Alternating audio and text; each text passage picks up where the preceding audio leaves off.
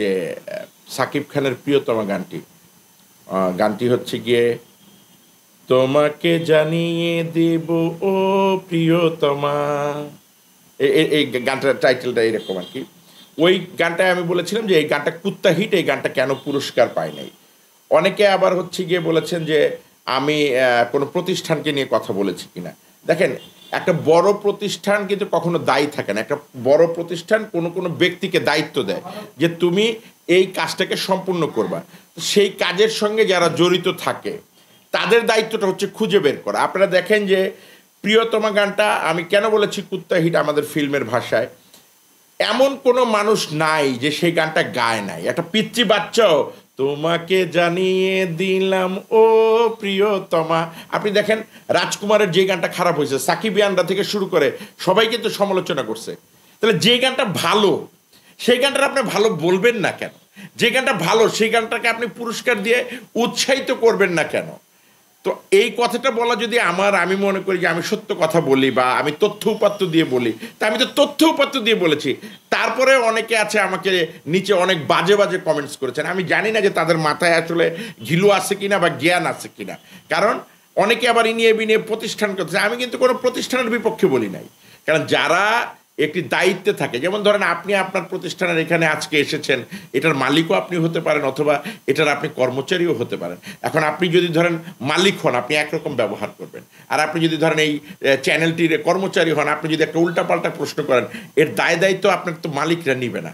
তাহলে যে প্রতিষ্ঠানটি অ্যাওয়ার্ড প্রোগ্রামটির আয়োজন করেছে, তাদের তো এই দায় দায়িত্ব না, বা তাদেরও এই বদনাম না। যারা এটার সাথে সংশ্লিষ্ট থাকে আমি মনে করি, তাদের দায় দায়িত্বটা অনেক বেশি। তারা আমাদের পালস, দর্শকদের পালস বোঝা উচিত।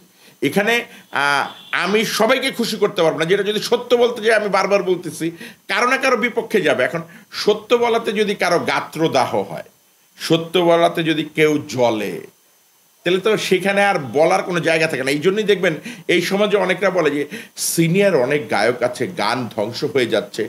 কিচ্ছু বলে না। ওনারা বইলে কি গালি খাবে? ওনারা বইলে কি দাওয়াত থেকে বয়কট হবে? ওনারা বইলে কি হুমকি খাবে? ওনারা বইলে কি ঝাড়ি খাবে? ওনাদের তো একটা সম্মানের লেভেল আছে। আপনি দেখবেন যে, একটা মানুষ হয়তো ছাত্র জীবন অনেক বড় ক্যাডার থাকে, অথবা অনেক বড় রাগী মানুষ থাকে। কিন্তু ধীরে ধীরে সে সম্মানের ভারে কিন্তু নিচা হইতে থাকে। সেই লোকটা কিন্তু তখনও তার মধ্যে সেই উত্তেজনাই থাকে।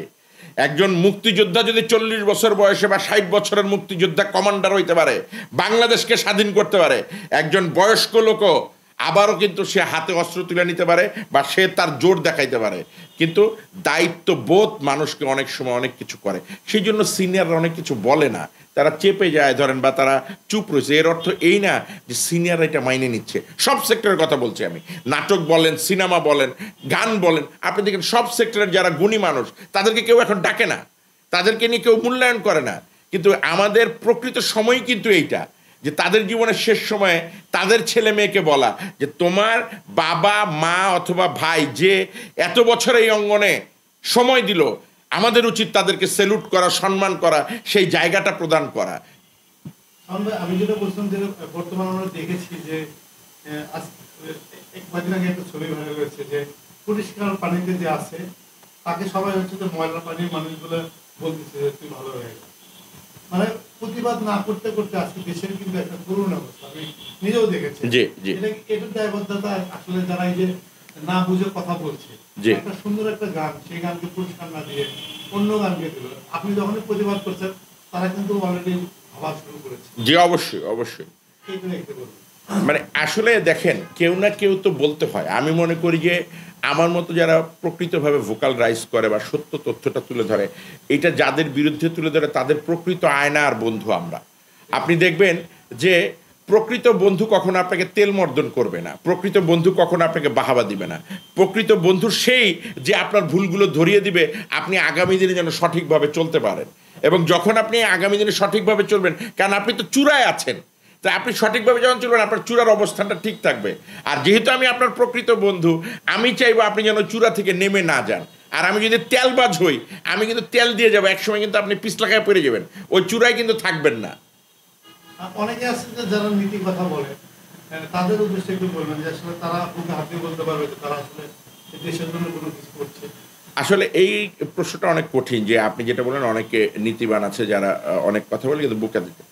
এইটা ম্যান টু ম্যান ভেরি করে। আবার ধরেন আমরা অনেক মানুষ, আমি নিজে চোখে দেখেছি যে সত্য কথা বলতে বলতে উনি তার জীবনের অনেক সময় শেষ করে দিয়েছেন, কিন্তু তার বাড়িটা ভাঙাচুরা ওই ভদ্রলোক চাইলে একটু দুর্নীতি করলেই হয়তো অনেক কিছু করতে পারতো। কারণ আমি ঢাকার স্থানীয় ছেলে, পাশাপাশি ওই যে আমি বললাম আমার দেশের বাড়ি, নোয়াখালী, গ্রামের বাড়ি।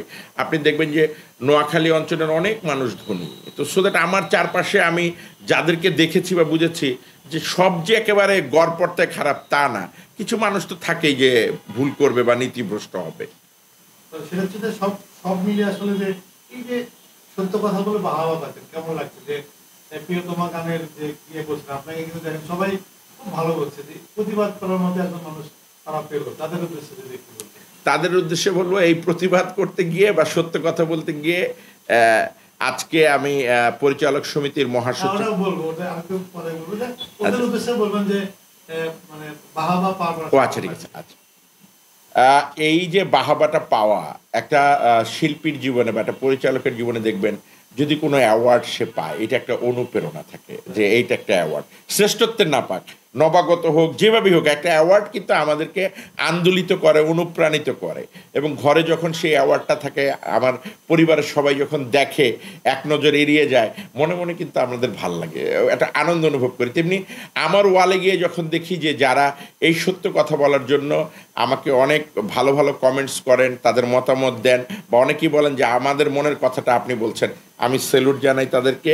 মহান রাব্বুল আলমিনের কাছে কৃতজ্ঞতা জানাই যে আপনাদেরকেও কৃতজ্ঞতা জানাই যে আপনি ইন্টারভিউ নিচ্ছেন, যে আপনাদের মাধ্যমে একটা প্ল্যাটফর্মের সুযোগ পাওয়াতে আমি আজকে যে এই সত্য কথা বলতে পারছি, এটার জন্য আমি আসলে খুব প্রাউড ফিল করি এবং আমার ভালো লাগে।